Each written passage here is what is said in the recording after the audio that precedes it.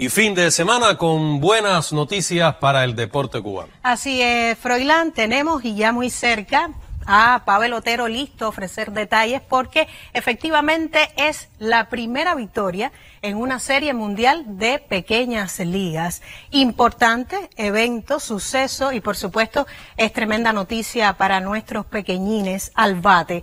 ¿Qué trascendencia le concedes a este acontecimiento? Así mismo es, muchas gracias Gisela. Es un gran acontecimiento, primero porque, como bien tú decías, marca el primer triunfo histórico. Y no solo eso, ratifica la inagotable cantera que tiene el béisbol cubano en, nuestro país. Ahí es donde se puede ver que Cuba sigue dando muy buenos peloteros, aun cuando esto es un equipo municipal, no es una selección nacional. Talento para rato. Así mismo es, Gisela, y está demostrado. Qué bien.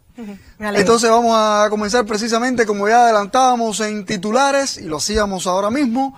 Cuba alcanzó esta tarde su primera victoria en la Serie Mundial de las Pequeñas Ligas de Béisbol que tiene por sede a Pensilvania en Estados Unidos. Nuestro elenco de Bayamo le ganó por nocaut de 11 por 1 a su similar de Australia y de esta manera los cubanitos se mantienen con vida en el certamen que como hemos explicado tiene un sistema de competencia donde el equipo que pierda dos veces se marcha del evento. Los bateadores vayameses aprovecharon al zurdo abridor australiano desde bien temprano y pusieron el marcador 3 por 0. Con esas anotaciones ya eran suficientes para la victoria porque el picheo cubano solo toleró una anotación. No obstante, los cubanitos no frenaron hasta marcar 11 carreras con 12 incogibles. El choque lo ganó el abridor bayamés Samuel Palencia, quien permitió solo dos imparables a la tanda australiana. Mañana Cuba chocará con Panamá a las 9 ante Meridiano, hora de nuestro país, con transmisión en vivo del canal Telerebelde. Al finalizar el choque, el enviado especial de la prensa cubana Osbiel Castro Medel obtuvo declaraciones de dos de nuestros peloteritos. Hoy como el lanzador del partido tenía una gran responsabilidad porque si perdíamos, salíamos del torneo, íbamos contra un rival difícil, Australia, pero logramos salir adelante y lograr la victoria.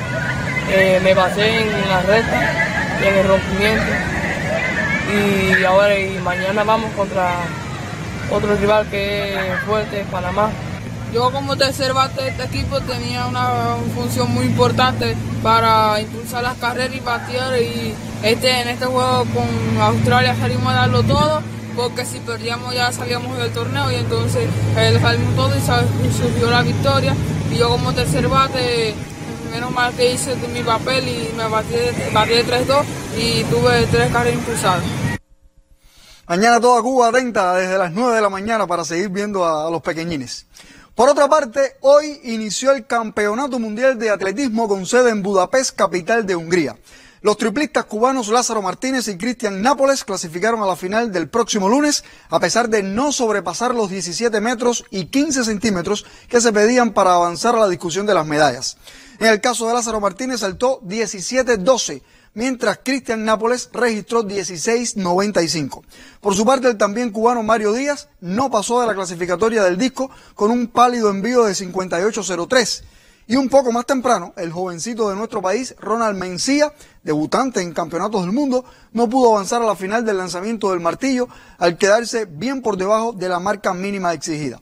Al finalizar la jornada de hoy, la enviada especial de HIT, la colega Eileen Ríos, nos envió declaraciones de algunos participantes de esta primera jornada. Bueno, una experiencia muy buena, ya que cumplí la meta de venir a un campeonato mundial de madera por primera vez.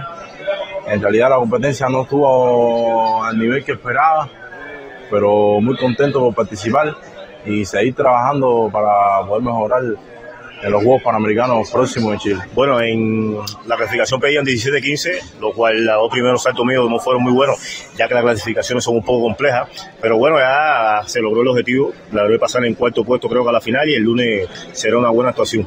No me presioné, pero lo que pasa es que tengo que hacer unos ajustes un poco más en la, en la carrera para en la final poder darlo todo.